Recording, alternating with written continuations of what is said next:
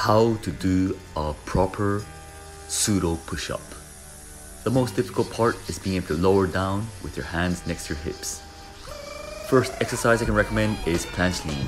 Make sure to push out in your shoulders all the time. Second one is negative. Lower down slowly until you touch the floor. Take a little break, come back up, repeat the same thing. The slower, the better. And the final exercise I can give you guys is just isometric pose. Just hold yourself in this position as long as you can.